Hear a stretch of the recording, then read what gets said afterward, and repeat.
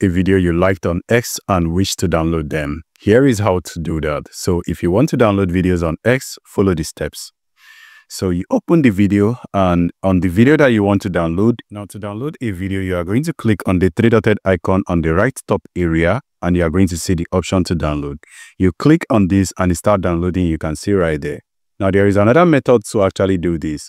Now the method is you copy the link of this video by either going through this area and clicking on share and then uh, do share VI right? And then you click on copy link. Now you go to a different browser, let's say a Chrome browser, or I prefer a Brave browser for some reason. I'll explain that. Now on Brave, on Brave browser, go ahead and search for X downloader. So I already have it open. So I can just click on that right here. So um, for your own case, you just type it and you are going to find just about any one. I prefer using this particular one. You can just write down the URL. So click and hold, paste, and then you click download.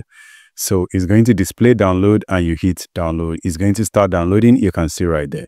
Now, the reason why I share these two method of download is that most times you do not see it. Can be really, really great for games like so it's not every video that have the option to download. So most video that do not have the option to download, all you need to do is to follow the second step. The best way to well, Bill, you see this video do not have the step to download.